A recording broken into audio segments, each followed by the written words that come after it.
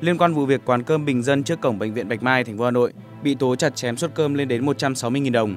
Ngày 11 tháng 7, Chủ tịch Ủy ban nhân dân phường Phương Mai cho biết chính quyền địa phương đã yêu cầu đóng cửa quán cơm nói trên.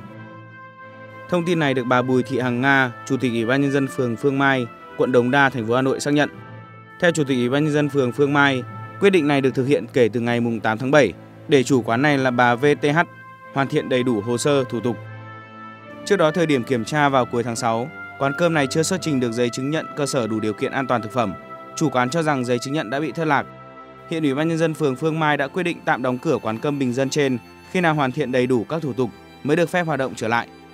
Về việc khách hàng phản ánh suất cơm 160.000 đồng, phường Phương Mai đã gửi hồ sơ kiến nghị lên Ủy ban nhân dân quận Đống Đa để có phương án giải quyết.